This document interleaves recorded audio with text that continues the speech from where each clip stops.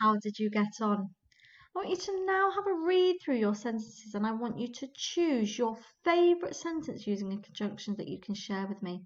Pause the video now and I want you to have a read. When you read through your writing, you need to check that all your sentences have a capital letter, all your sentences have a full stop. Really think about whether you've used spelt your common exception words correctly. Are all your letters nice and tall that need to be tall? Are all your descenders below the line? Have a check through all that for me now. Pause the video while you do that and choose your favourite sentence. Have you chosen your favourite sentence?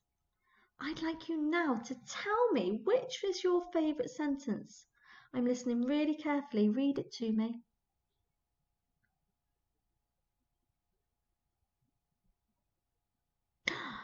Wow, I really like how you've joined two clauses together using a conjunction.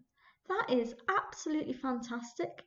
Don't forget to send me your learning and your grown-ups can put it on Twitter if you like.